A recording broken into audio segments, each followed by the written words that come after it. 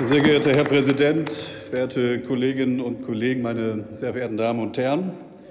Diese Abstimmung heute hat schon eine gewisse, in Anführungsstrichen, historische Bedeutung, denn wir ebnen den Weg für freies WLAN in der Bundesrepublik.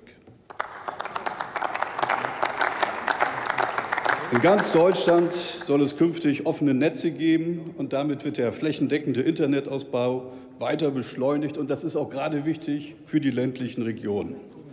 Ich sage das immer wieder bewusst als jemand, der aus dem ländlichen Raum kommt. Wir haben immer noch viel zu viele Gemeinden, wo wir nur sehr, sehr geringe Downloads, Bitraten haben und auch in weiten Teilen sogar der Mobilfunk sehr, sehr unzureichend ausgebaut ist.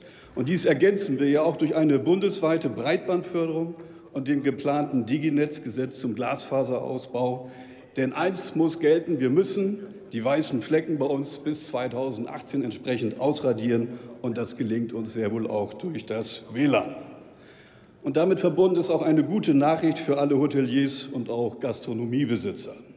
Sie müssen nicht mehr dafür haften, wenn ihre Gäste Rechtsverstöße im Internet begehen meine Damen und Herren, wir kennen das ja alle aus unseren Wahlkreisen, das Dilemma, was uns von Hoteliers und Kaffeebetreibern berichtet wird. Es gehört heute dazu, dass man ein funktionsfähiges WLAN den Kunden anbietet. Man möchte konkurrenzfähig sein.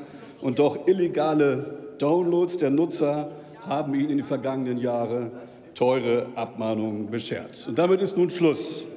Wir geben den WLAN-Betreibern Rechtssicherheit. Und dazu werden sie mit den Netzanbietern gleichgestellt. Das heißt, sie profitieren vom Haftungsausschluss.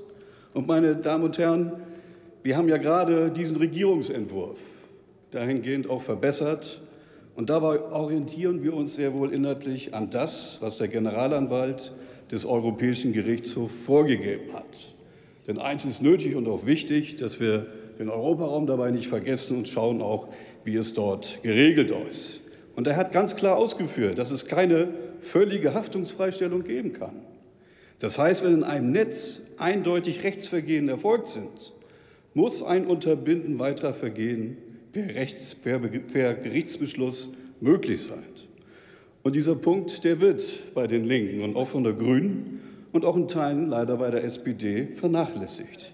Denn wir können nicht den Schutz von WLAN-Betreibern über den Schutz von geistigem Eigentum stellen. Und das sagt der Generalanwalt vor dem EuGH. Wir brauchen vielmehr ein Gleichgewicht zwischen den Informations- und der unternehmerischen Freiheit einerseits sowie dem Urheberrecht andererseits. Mit unserer Regelung haben wir eine ausgewogene Balance dieser Grundrechte erzielt. WLAN-Betreiber, Nutzer und Rechteinhaber werden gleichermaßen berücksichtigt und das bei einer praktikablen Handhabung. Meine Damen und Herren, damit erfüllen wir den Koalitionsvertrag.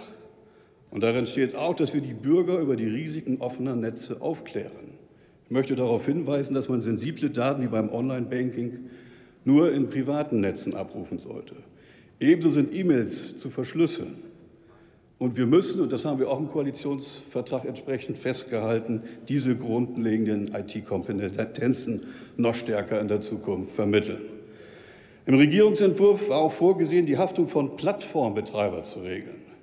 Und da haben wir ganz klar gesagt, das muss auf europäischer Ebene geregelt werden. Das ja besonders Geschäftsmodelle, die im Wesentlichen auf Verletzung von Urheberrechten bestehen. Diesen Plattformen muss schlichtweg der Geldhahn zugedreht werden und sie dürfen keine Werbeentnahmen mehr einnehmen. Meine Damen und Herren, diese Änderungen beim Telemediengesetz werden gewiss nicht die letzten sein.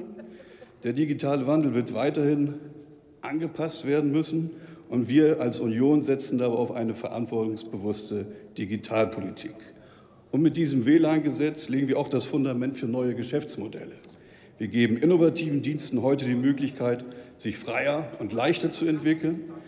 Ich rufe insbesondere die Kommunen, die Landkreise dazu auf, insbesondere auch die Bibliotheken, WLAN-Netze anzubieten, das entsprechend einzurichten, denn sie sind sehr wohl, und das hat auch der Kollege Held treffend gesagt, ein wichtiger Faktor für Bildung, für Tourismus und Wirtschaft. Vielen Dank für Ihre Aufmerksamkeit. Nächster Redner ist der Kollege Dr. Konstantin von Notz, Bündnis 90.